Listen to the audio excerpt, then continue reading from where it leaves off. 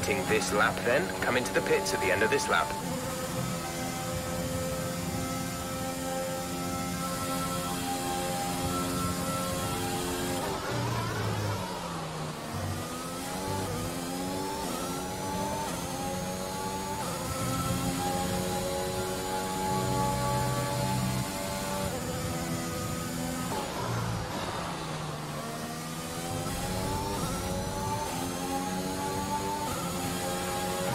Okay, gap ahead is 2.4 seconds.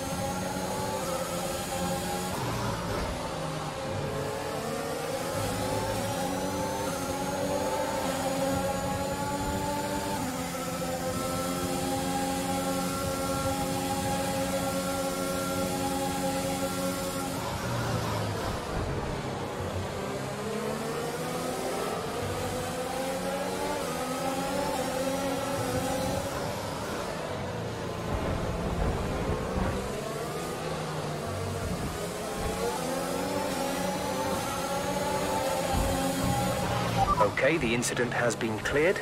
Let's get back up to racing speed.